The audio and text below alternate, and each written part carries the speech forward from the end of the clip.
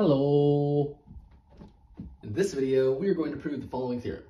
Suppose xn and yn are sequences of real numbers. If xn converges to x and yn converges to y, then xn plus yn converges to x plus y. Now, before we get into the proof, I would first like to clarify what this, this, and this mean.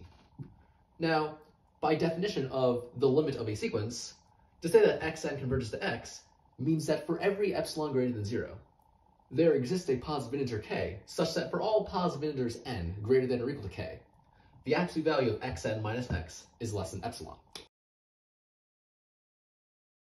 Similarly, to say that yn converges to y means exactly the same thing as this, it's just instead we have absolute value of yn minus y is less than epsilon.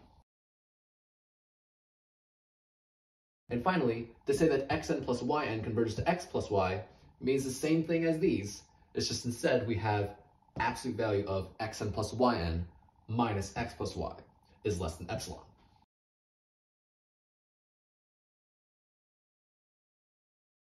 Okay, so now let's get into the proof. So, we're given sequences xn and yn, and we're given that xn converges to x and yn converges to y.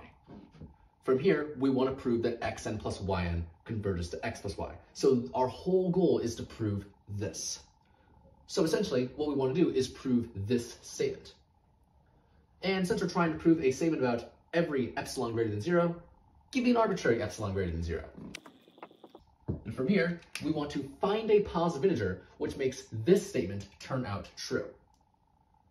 Now, to start, since epsilon is greater than zero, it follows that epsilon over 2 is greater than 0. Now, let's use the fact that we know xn converges to x and yn converges to y. This means we know that these two statements are true. Starting with the first statement, we know that this statement works for every positive real number. So it must work for the positive real number epsilon over 2. So if we take epsilon here to be the epsilon over 2 we have in our proof, then we have that this is true. So there is some positive integer, I'll call p, which satisfies for all positive integers n greater than or equal to p, the absolute value of xn minus x is less than epsilon over 2.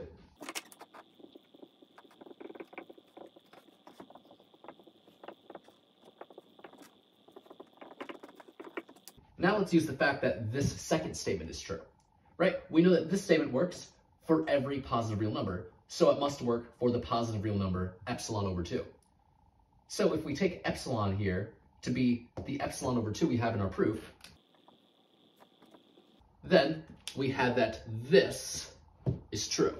So there is some positive integer, I'll call q, which satisfies for all positive integers n greater than or equal to q, the absolute value of yn minus y is less than epsilon over 2.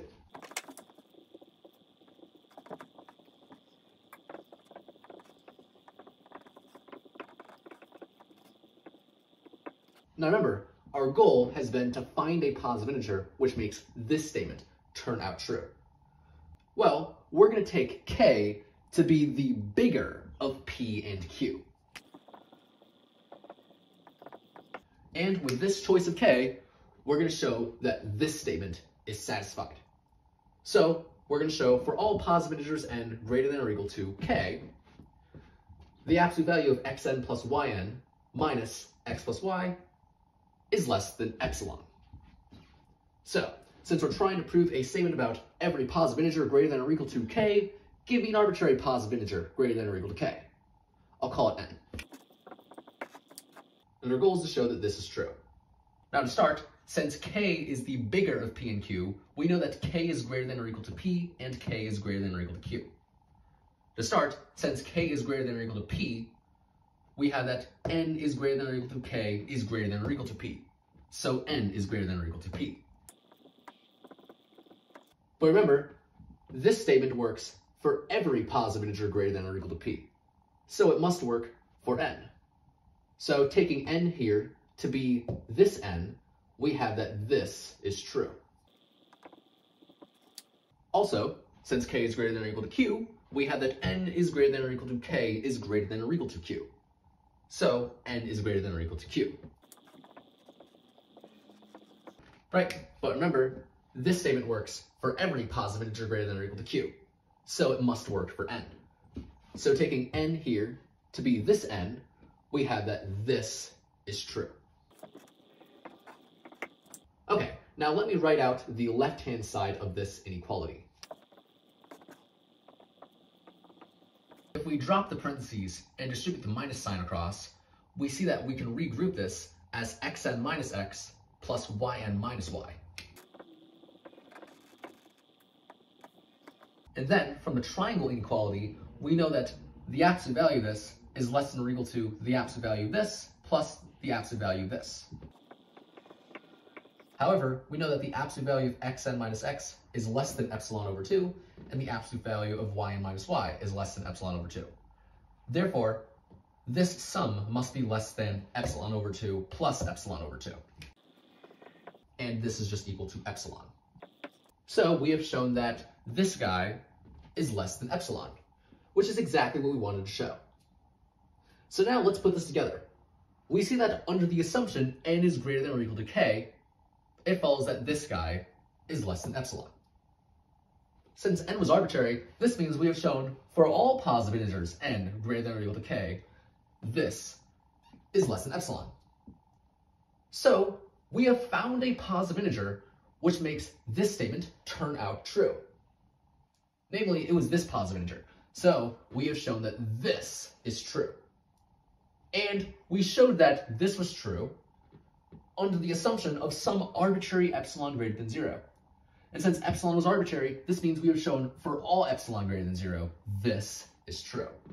So we have proven this entire statement, which means we have proven xn plus yn converges to x plus y.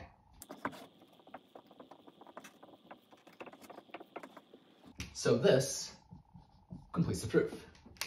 And so yeah, that's pretty much it for this video.